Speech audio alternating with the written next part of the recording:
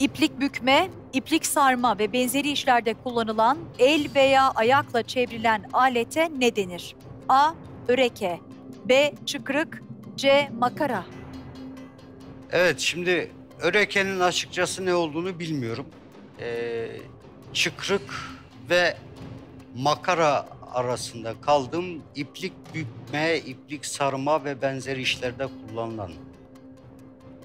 Ee, çıkrık şıkkı bana daha yakın geliyor. Ee, B çıkrık demek istiyorum. Peki B şıkkını onaylıyor musunuz? Onaylıyor muyum? Hocama sorabilir miyim? Vazgeçtiniz. Peki Ee, hocama arzu sormak ediyorsanız. istiyorum bu soruda. Tamam. Riske atmak istemiyorum. Çünkü makara ve çıkrık arasında kaldım. Peki ben makara şıkkını eliyorum. teşekkürler hocam. Ee, hocam teşekkür ederim. Ee, B çıkrık Onaylıyor musunuz? onaylıyorum. Bakalım.